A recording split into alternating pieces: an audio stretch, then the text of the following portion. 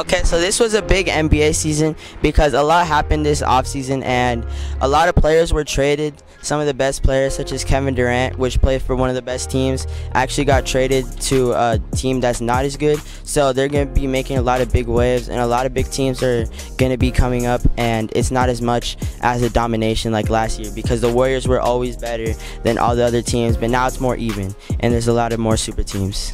And who do you think will take the NBA championship this year? Probably most likely the Clippers, Why?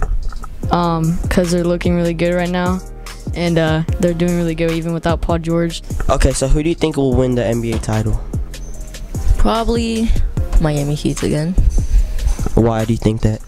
because they really put a lot of hard work into what they do and play, and they really have a lot of strategies to go on with.